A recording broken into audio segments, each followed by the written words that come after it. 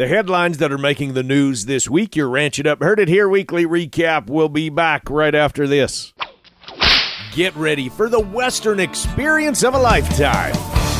The world famous Miles City Bucking Horse Sale is back and better than ever. Join us May 16th through the 19th in Miles City, Montana. From the finest bucking stock to electrifying horse racing, this event has it all. Don't miss out on the kickoff concert featuring Josh Turner and special guest Chancey Williams. Mark your calendars and saddle up for the world famous Miles City Bucking Horse Sale where the spirit of the West comes alive. Get your tickets at buckinghorsesale.com.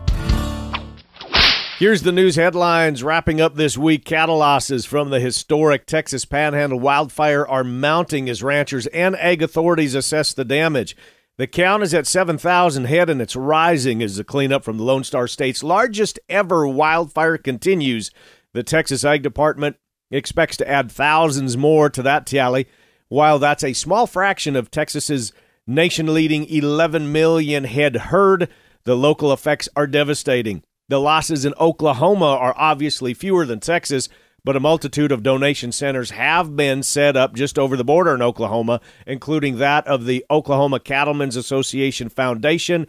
The link for them is in the show notes, along with other organizations rallying together that are coordinating donations like the Working Ranch Cowboys Association, the Texas Farm Bureau, and the Texas and Southwestern Cattle Raisers Association. Head to ranchitupshow.com to find direct links. Our friends to the north are investing in animal disease prevention. The Canadian government announced an investment of $1.7 million to Animal Health Canada to support its role in preventing foreign animal diseases such as African swine fever and foot and mouth disease. The announcement comes as African swine flu continues to spread to new lands. Albania, for example, reported its first case last week, making it the 28th European country to confirm African swine flu since it was first found on the continent back in 2007.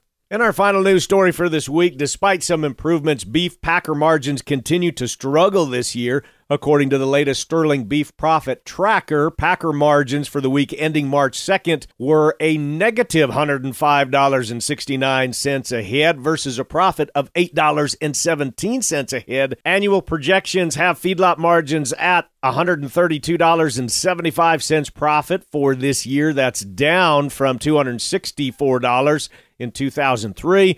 Packer margins, meanwhile, are currently estimated at a loss of $36 this year versus a flat 22 cents profit in 2023. And again, that is according to the Sterling Beef Profit Tracker. And that is your Ranch It Up Heard It Here weekly recap.